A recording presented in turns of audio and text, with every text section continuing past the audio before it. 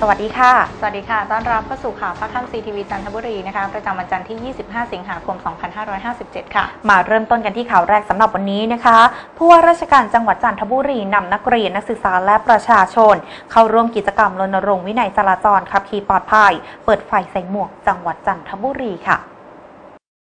ช่วงเช้าวันนี้ที่บริเวณลานหน้าสารกลางจังหวัดจันทบุรี นายสามารถลอยฟ้าผู้ว่าราชการจังหวัดจันทบุรี ได้นำหัวหน้าส่วนราชการ หัวหน้าหน่วยงาน สื่อมวลชน และประชาชนนักเรียนนักศึกษา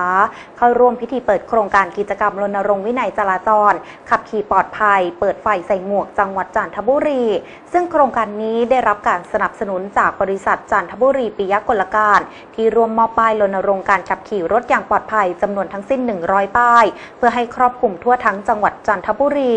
สำหรับพิธีการของโครงการรณรงค์วินัยจราจรขับขี่ปลอดภัย เปิดไฟใส่หมวกจังหวัดจันทบุรี ด้านนายวิสุทธ์ประกอบความดี หัวหน้าสำนักงานป้องกันและบรรเทาสาธารณภัย จังหวัดจันทบุรี ได้รายงานวัตถุประสงค์ต่อนายสามารถลอยฟ้าผู้ว่าราชการจังหวัดจันทบุรี ที่ให้เกียรติเป็นประธานกล่าวเปิดโครงการ พร้อมทั้งได้ร่วมขับขี่รถจักรยานยนต์สวมใส่หมวกนิรภัย และปล่อยนำขบวนรถจักรยานยนต์อีกจำนวน 1,000 คัน เพื่อเคลื่อนขบวนไปตามเส้นทางต่างๆ ภายในอำเภอเมืองจันทบุรี